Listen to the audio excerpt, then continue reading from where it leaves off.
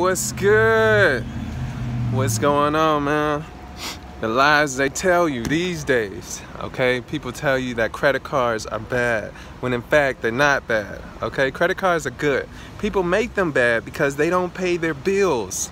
And every time you don't pay your bills, especially on a credit card, that stuff hits bad, okay?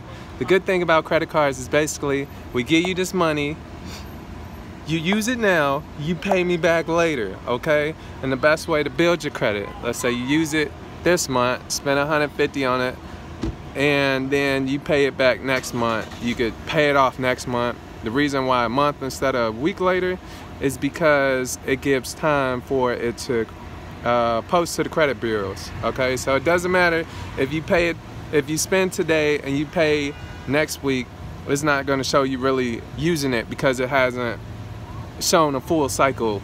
Okay, so I got five of them. All right, I use some of them when I'm on road trips. When I go on road trips, I use a credit card. Okay, and I pay it back the next month. That's how you do that. That's how you keep that stuff active.